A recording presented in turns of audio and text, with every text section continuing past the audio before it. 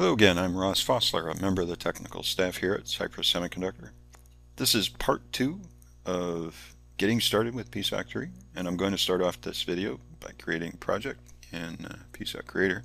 It is a simple project that uh, just blinks an LED in a manner undoubtedly characteristic of a typical MCU. And then uh, a little bit later I'm going to uh, blink the LED a little bit differently that's uh, slightly out of character for a typical MCU, but is more in character for PSoC. So without further ado, as I mentioned in part one, I'm going to throw out the slides and get right started into uh, creating project. The first thing I'm going to need to do is get PSoC Creator going. This is a design tool to uh, program PSoC 3 and PSoC 5. Once PSoC Creator is up, I'm going, going to create a new project a PSoC 3 project. I'm going to give it a useful name, my first project.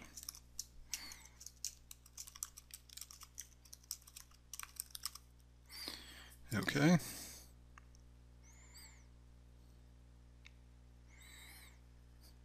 PSoC Creator has created a blank project for me. So the first part of this project, I'm going to blink an LED through firmware. To blink an LED, of course, I'm going to need a digital output pin. And I'm going to go to my component catalog where you can see various uh, components and classes of components um, such as ADCs and DACs and other functions. I need an output pin. I'm going to drag that to my worksheet and drop it. This pin is by default configured to be controlled by hardware so I'm going to reconfigure that pin. I am going to change it from hardware control to operate from firmware. And this tells PSoC Creator that it's now controlled by firmware. I'm going to give it a useful name. I'm going to call it LED1. And OK. Creator now knows that I have an output pin. Um, it doesn't know yet what pin that really relates to in the package. So I'm going to go to the package view. And I can see I've got an LED here and I need to associate that to a physical pin. And I'm going to go select a port and there it is. I'm going to go to the build menu and generate my application. PSoC Creator will generate a handful of useful uh, include files and source files, which will include a number of APIs. In addition, it, it generated files associated to the pin I just placed. I'm going to go to main and I'm going to write code to control that pin.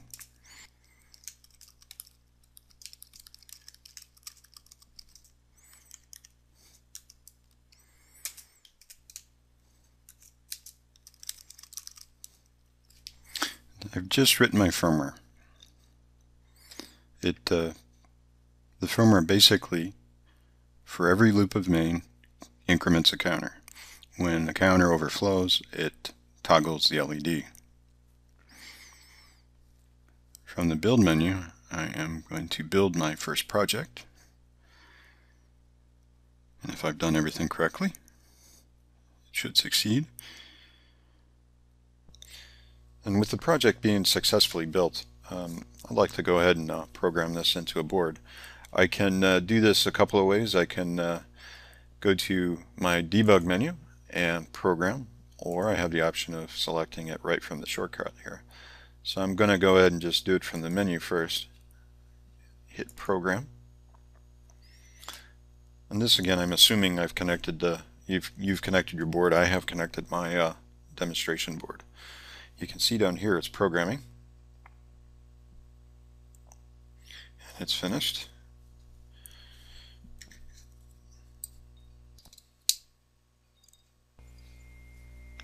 I removed and reapplied power to my demo board. As you can see the LED is blinking under firmware control like any typical microcontroller can do. Next I will do something different, something that is not characteristic of an MCU. What I am doing is creating two square waves of slightly different periods mixed with an XOR gate. What that achieves is a beat harmonic, which I'm going to modulate on my LEDs.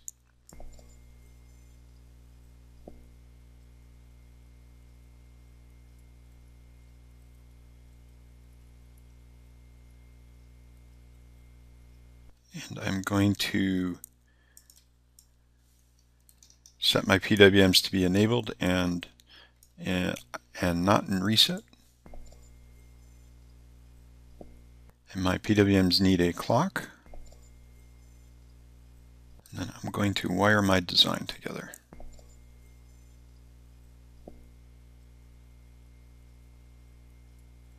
I need to configure my clock to a reasonable value. We're going to choose 8 kilohertz. And now I need to assign my pins to physical pins on the demonstration board. I'm choosing pins on port 4, bits 0 through 3.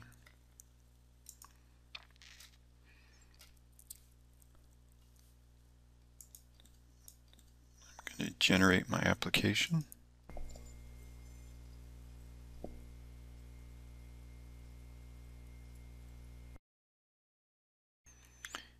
In this design, I need to change the code a little bit to initialize the PWMs.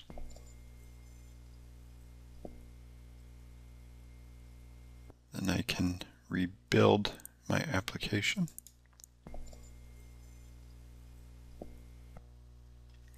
And now I'm going to go ahead and program my uh, development board.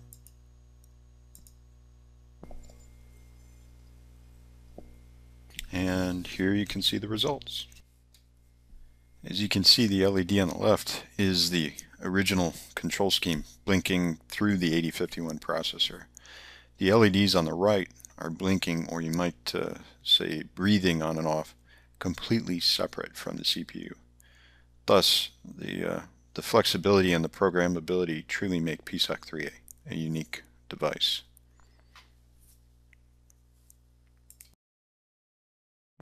Well, thank you for joining me in this demonstration. Again, if you want more information about PSoC 3, you can go to www.cypress.com slash go slash PSoC 3.